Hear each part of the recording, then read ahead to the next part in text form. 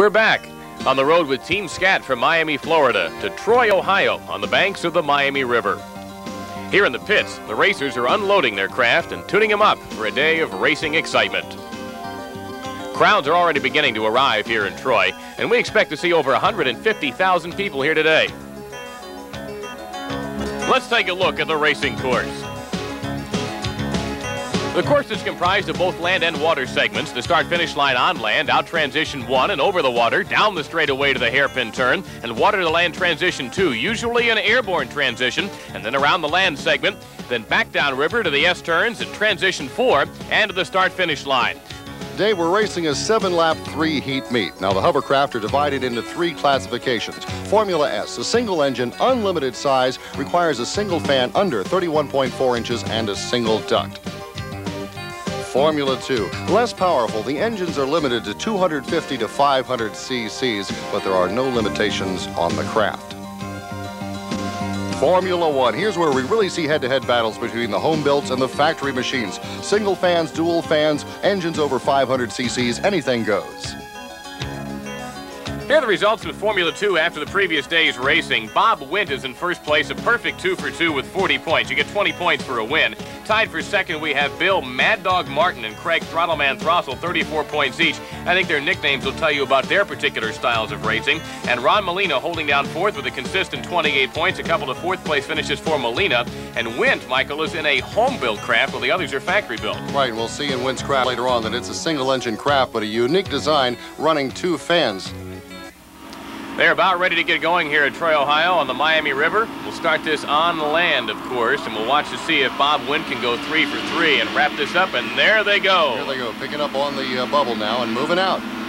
Wild Bill Martin in a black and orange craft. It looks like Wint has taken the early lead, number 33. The Universal Hovercraft. It's a home build, as we talked about before, in an unusual design and they spin out now over the Miami River. That first transition is complete as the hovercraft can easily go from water to land and vice versa without any trouble at all. Now it looks like the Wild Bill Martin has taken the early lead. And there's that first transition. You see him getting a little airborne there. The hovercraft, there is nothing underneath it. I don't think we can emphasize that enough. That's air that's got them underneath there. A lot of people are confused. They think it's wheels. They think there's something going on there. They make that first spin. We're about ready to go back onto the water. Holding down second place right now looks like Throttle Man Throstle, and it's Wild Bill Martin, though, with a pretty good lead.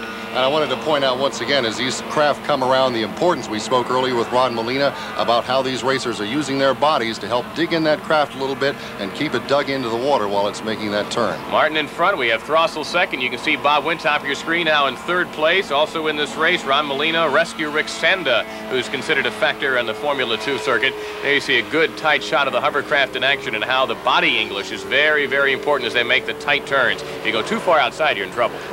You see the craft swinging around here and using the craft's thrust from behind to help change that direction. Nice yeah, tight turn there. Very tight turn, and that's very important, particularly if you happen to get into a battle with somebody. But right now, it's Wild Bill Martin on top, number two points leader in Formula 2 and in the nation. And here we are back up on the land again. Nice little jump up onto the beach there. Bob Wint making a move now on second place and Throttle Man Throstle. Those two have been going at it, and it looks like Wint is about to pass him here. But right now, nobody is threatening Wild Bill Martin. Also a nickname of Mad Dog, so I would guess he got that from a fairly open throttle style of racing.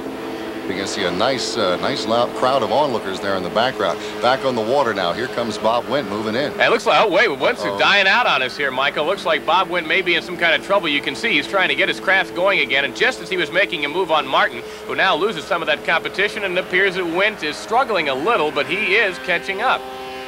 Looks like he's dropping out of the picture now, though, Dave. We lost him for a little bit. It looked like you could see his craft begin to struggle, but now he is not only not struggling, but putting a big move on Martin. But there there's one thing we need to point out.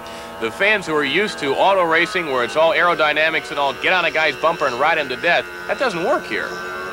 You'll find that one of the big disadvantages when you're in a, a, real tight one and two situation like this, when you cross behind one of these other races, oh, there's a nice Bob went there. right there, just past him as he went to the outside and got the move on Mad Dog Martin. And now Bob Wint opening up a lead here on the Miami River as he gets ready to work through some of the turns. Nice tight turn. Now watch this side slip. And once again, we're talking about the racer's body and machine leaning over there. That's how he's helping control the craft with not just the throttle and the and the blades in the back. He's using his body weight to help control that craft. And there's a good picture if you can see that front fan that's helped that that provides the lift for his craft. Very much different from the other craft who are behind him. Craig Throssell in the blue and Wild Bill Martin, and now Throssell and Martin getting into a battle for second and third place as Bob Wint is leading this Formula 2 race. And right there in that turn, you can see one of those examples of getting caught in the thrust from being too close behind one of the other racers. We see leader Bob Wint has opened up a comfortable lead, and again from a point where we thought we had lost him mechanically, and now we have lost oh, him mechanically. No. Hand in the air to indicate he's got a problem, and this time it appears to be for real. Bob Wint is standing up in the craft. And now we're going to see who's going to come over taking first, whether it'll be Martin or Throssell, as Wint has got some sort of a problem there. I can't exactly tell what it is. Now, you see, once again, see the craft sit down. He's not up on the air bubble anymore. We got to stress to folks who aren't familiar with hovercraft that there's nothing underneath this craft but a bubble of air inside that skirt. The new race leader is Bill Martin. He's taken over from Craig Throssell, who you see in the picture there, but Martin did make the first transition. We should be having him here in a moment. It's Throssell and Martin now taking over for Bob Wint who had an unfortunate occurrence here. Bob Wint trying to sweep this Formula 2 series here in Ohio, but he can't do it. And there is Martin now as he and Throssell will battle it out as we try to figure out if Bob Wint will be able to get back in this race. Making another nice transition from the land into the water and headed down toward that turn. And we'll be back with the conclusion of this Formula 2 battle between Martin and Throssell on Hover World.